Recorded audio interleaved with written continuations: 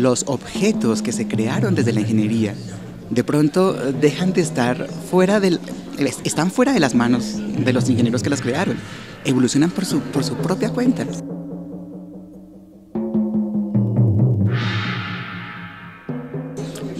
Red Internet nadie la tiene en su cabeza.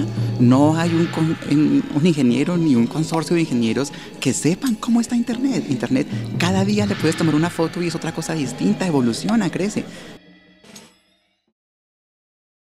Buenos días, buenas noches.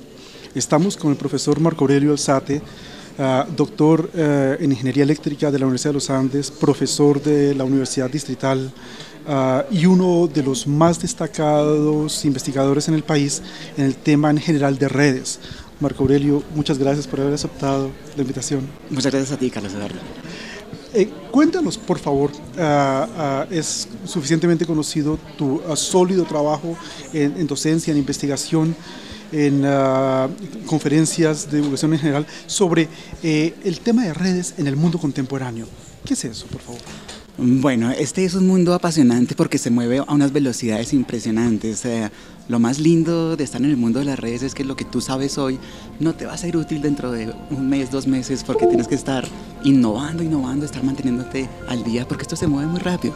Y se mueve muy rápido porque desde el punto de vista tecnológico hay mucha evolución, pero desde el punto de vista de fundamentos de lo que está ocurriendo en el mundo de las comunicaciones, toda la complejidad que se evidencia en el mundo de las redes, mm, pone a los ingenieros de redes a correr. Y eso es lo apasionante de este mundo. En general, corrígeme, em, se distingue entre redes eh, en términos amplios y redes complejas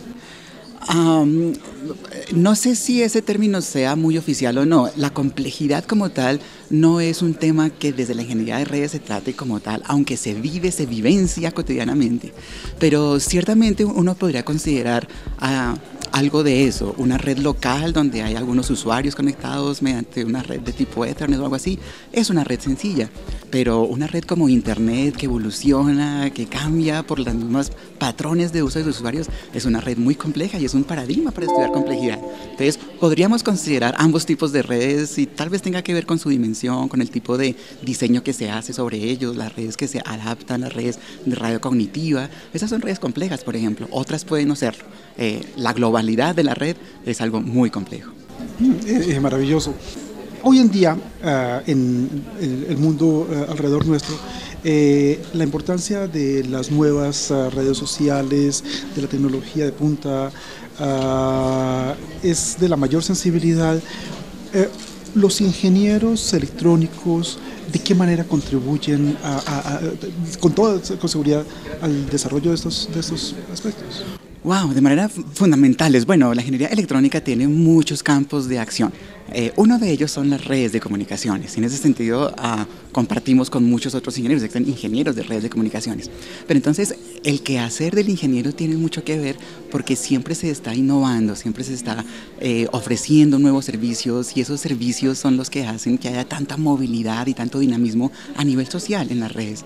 Toda todo este paradigma de la red de comunicación, de hecho, ah, logra un cambio fundamental eh, al orden de la civilización humana, la forma como la gente interactúa, como la gente tiene que eh, compartir las amistades que los niños adolescentes hacen, ya no son en su vecindario, en su colegio, son en Tailandia y en Japón y son amigos íntimos porque comparten cosas ah, de los grupos de musicales que usan. Todo eso fue posible porque la tecnología de las redes así lo permitió. Creo que es un papel importante, me imagino. ¿Cómo no? Eh, tú has hablado ah, con mucha solidez acerca de modelos bioinspirados. Eh, ¿qué, qué, es eso? Wow, esa es, esa es una forma como los ingenieros en redes de comunicaciones están enfrentando los problemas de complejidad que aparecen, que, que sorprenden en las redes de comunicaciones. Ah, el problema fundamental de las redes es cómo utilizar óptimamente unos recursos ah, eh, tratando de maximizar el desempeño, por ejemplo, puede ser un criterio de, optimización. Pero ese proceso conduce a soluciones de tipo distribuido, en donde las percepciones se hacen localmente ah, y, la, y, la, solución global del problema emerge a partir de interacciones locales, donde cada gente está percibiendo localmente y está interactuando localmente, pero de interacción a interacción se genera la solución óptima a lo largo de toda la red. Si nosotros pensamos en técnicas matemáticas de, programación para, para resolver problemas de optimización, no sería posible, es demasiado complejo el problema. Entonces se busca heurísticamente soluciones y para ese, eh, para ese enfoque los sistemas bioinspirados son apenas una solución natural. Pero va más allá. Después de los sistemas bioinspirados para resolver los problemas típicos de la red de comunicaciones, hay problemas complejos, en donde ya no es una alternativa, ya no es una herramienta, ya es una forma de concepción del problema mismo, la forma de asignar recursos, de distribuir recursos, la forma de, coordinar accesos. Ese es un problema tan complejo como la vida misma de alguna manera y requiere de esas metodologías. Eh, estupendísimo. Eh, tú te has destacado eh, eh, muy bien en un campo que la mayoría de nosotros no conocemos, que es la ingeniería de sistemas complejos. este es otro tipo de ingeniería, como decir la ingeniería civil y la ingeniería, de alimentos. O, ¿cómo, es esto? Tan chévere, tan chévere que digas que, que tú no te has destacado en eso. Ah, eres muy humilde, porque yo me considero tu alumno en ese sentido. Y sí, efectivamente no es un asunto disciplinar realmente. Ah, los sistemas complejos abarcan ah, todos los aspectos de las disciplinas clásicas de las ciencias y las ingenierías y las profesiones. en ese sentido, cuando se habla de ingeniería de sistemas complejos, se abre un abanico de aplicaciones donde el ingeniero electrónico interactúa con el físico, con el biólogo, con el sociólogo, con el economista, con el psicólogo, porque son los mismos tipos de problemas y los mismos tipos de enfoques. Ah, en ese sentido, la ingeniería de sistemas complejos se aplica mucho en redes de comunicaciones, pero tiene que ver con problemas de orden muy general. Y probablemente hay una simbiosis muy interesante de lo que se aprende desde la red de comunicaciones a otras áreas y de lo que de otras áreas viene a aplicarse la red de comunicaciones. No, no es una cosa disciplinaria, es una cosa para todas las disciplinas. Es fantástico, porque la comprensión habitual que tienen las personas acerca de, los, de, la ingeniería, uno o dos de las tecnologías, es como si fuera puramente herramental, pero con esos procesos de participación, de aprendizaje, con múltiples otras ciencias y disciplinas, lo que quiere decir es que efectivamente, y es lo que sucede, los ingenieros están haciendo ciencia como los demás. Esa es una idea muy linda que a mí por lo menos me tienta, porque efectivamente los objetos que se crearon desde la ingeniería de pronto dejan de estar fuera del, están fuera de las manos de los ingenieros que las crearon, evolucionan por su, por su propia cuenta. La red Internet nadie la tiene en su cabeza, no hay un, un, ingeniero ni un consorcio de ingenieros que sepan cómo está Internet. Internet cada día le puedes tomar una foto y es otra cosa distinta, evoluciona, crece. Internet es un objeto de ciencia, no un objeto de ingeniería a estas alturas. Fantástico, totalmente de acuerdo. Eh, me mencionas Internet, eh, nadie más eh, idóneo que tú para ilustrarnos en general. Eh, ¿Cómo es la discusión que se está dando sobre Internet 2, Internet 3, este, tipo de, de cosas? Bueno, tiene mucho que ver con, con, el tipo de aplicaciones que se desarrollan y el tipo de tecnologías con que, con que, con que, con que se montan, digamos. Eh, la evolución de las redes va más, cada vez más hacia, hacia el individuo mismo. Antes tú tenías que ir al punto en donde había un punto de conexión y ahí tenías un computador o algo. Hoy cargas con él en el bolsillo. Y a medida que cargas en el, en el, en el bolsillo quieres tener más y más aplicaciones y más y más servicios, más y más ancho de banda, más y más eh, formas de interactuar con el mundo desde tu aparato portátil eso requiere cambios fundamentales paradigmáticos en la misma tecnología de las redes de comunicaciones, en los servicios que debes implementar en ellos. Y esas generaciones son las que, las que hablan de, de números sobre Internet o sobre cualquier otro tipo eh, de red particular. Es la aplicación de nuevas tecnologías para nuevos servicios en un afán que nadie sabe cuándo parar o cómo llegar. Eso crece y crece y crece y crece. Entonces se trata fundamentalmente de eso, de cómo nuevas necesidades se suplen con nuevas tecnologías y eso da las generaciones de, de, Internet de las que hablas. Y que está transformando manifiestamente la vida de la sociedad y de los individuos. Yo diría de la civilización en el planeta, de alguna manera. Ah, eh, hoy escuchábamos en el Congreso en el que estamos, no sé si lo quieras eh, mencionar, como eh, la pirámide de las necesidades básicas que siempre se ponían como en el, en, el piso, la alimentación, el cobijo y en la cima la intelectualidad. Hay caricaturas muy significativas en donde en el piso está el acceso a Internet. No se concibe hoy un ser humano que haga parte de su sociedad y de este planeta sin un acceso a Internet, por ejemplo. Como lo desde luego.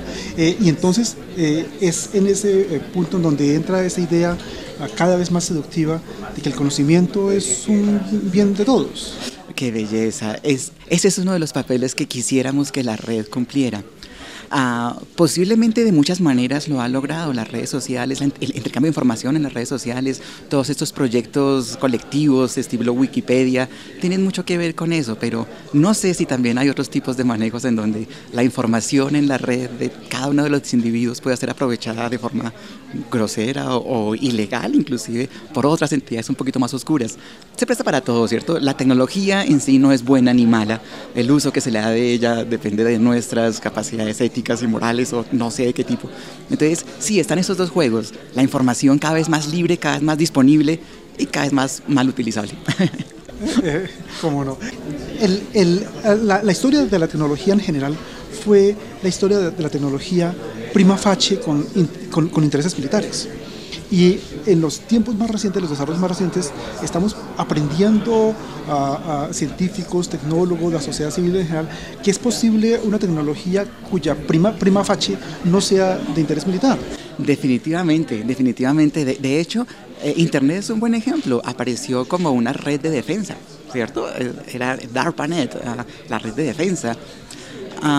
pero, pero es, es, una bondad, yo creo, de la democratización de las redes de comunicaciones, donde la información está abierta y disponible y la gente interactúa con eso y hace crecer las tecnologías para sus propios bienes, uh, digamos, mucho más uh, cívicos, civiles cívicos, si quieres.